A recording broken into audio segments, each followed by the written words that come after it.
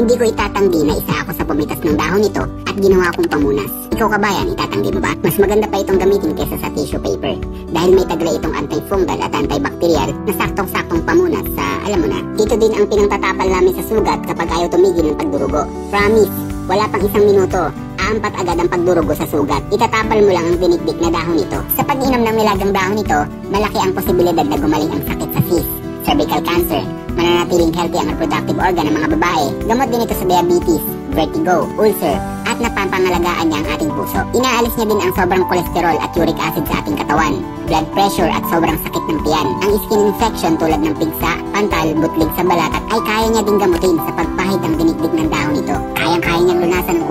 sipon, lagnat at nakapit na plema sa pag-inom ng nilagang dahon nito. At ang buong halaman, ito ay may taglay ng natural fertilizer. Kaya niyang patabayin ang mga halamang nasa paligid niya. O di ba? Kamangha-mangha ang kakayanan ng halamang ito. Ikaw kabayan, ano ang karanasan mo sa halamang ito? Itatanggi mo bang isa ka sa pumitas ng dahon nito at ginawang pamunas? Kwento nyo naman sa comment section ang naging love story nyo ng halamang ito. Huwag kalimutan mag-follow at mag-share ng ating video. Isang minutong dagdag kaalaman, galing sa isang magsasabi.